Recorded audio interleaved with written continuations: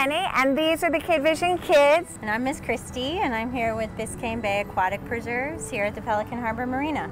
Terrific. Today we'd like to learn about the coastal waters off of Florida, and we would love to learn how to kayak. All right, well, we can do that. Let's get started. Great. Let's go. You ready? Yes. Me too.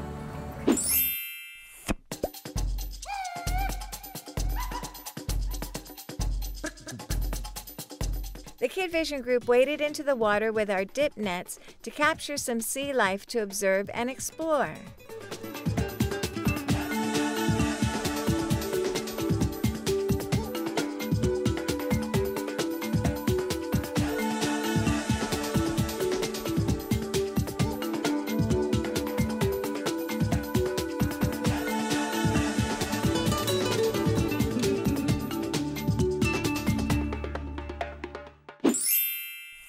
All right, well, let's take a look at what we found in the mangrove estuary of Biscayne Bay. Oh, I see a fish right here. What is That's that? That's a brown shrimp. Do. So right here in these these more protected areas is where all the young baby fish and shrimp and crabs grow up. And they can hide in the grasses and under the mangrove trees. We have a little crab. See how tiny he is? And he blends in and looks exactly like the sand. Yeah, what is that called when something looks like Camouflage. It's Camouflage. That's right. He's blending in with his environment. He's camouflaging.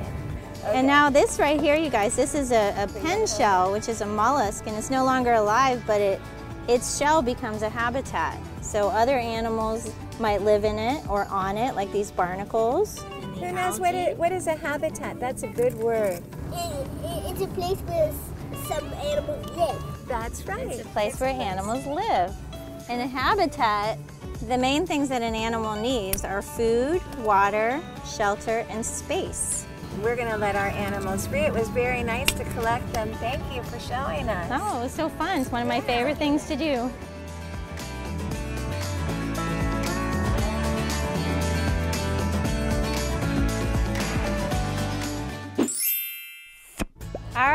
You guys, now Biscayne Bay is very important and it's very important to make sure that we keep it clean.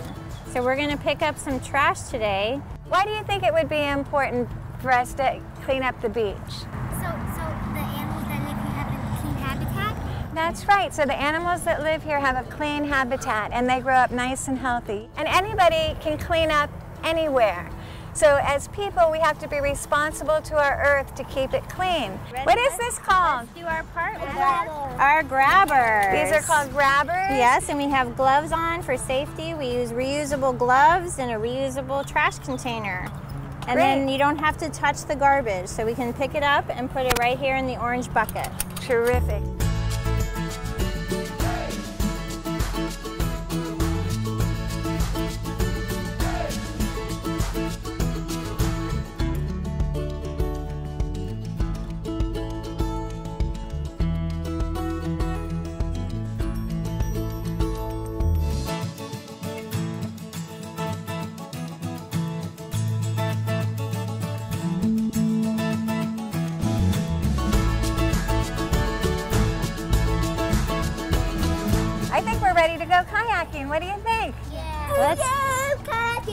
Let's go.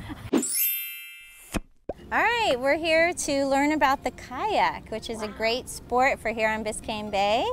Um, who wants to be my volunteer? All right, Liliana, come on up. We're first going to learn about water safety. It's really important to wear a personal flotation device, which is also known as a life vest. So we can put that on. All right. And why do we wear that? Well, it's for safety um, in case you fall in the water or in case your boat turn flips over so that you can get back on safely and not have to worry about um, maintaining your, your buoyancy. So that keeps you above the water. Yeah, and when you're under 16, it is the law when you go kayaking.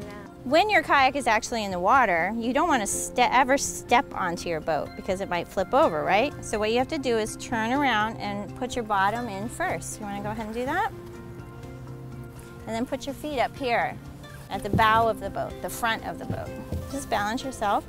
And then you're going to get your hand, your paddle, and you put one hand here one hand here. And when you're in the water, to go forward, you're going to make a rolling motion, like a figure eight. To go forward, you're going to pull, pull, pull. If you want to go backward, you're going to push, push, push. Okay, you got it? You want to give it a try? So let's go forward. Let's pull the water. Pull, pull, pull. Good job. Now you're going gonna go backward. Now push the water. Push, push, push. Very good, Liliana. Good job. You're an excellent think she's kayaker. ready. She's ready. Why do people use these boats? Well, it's a great way to get um, some exercise, some fresh air, to learn about nature, see beautiful things. It's very quiet and calm, and you don't have to use any fuel or engines, and so it's good for the environment. Oh, it sounds like a wonderful thing to do.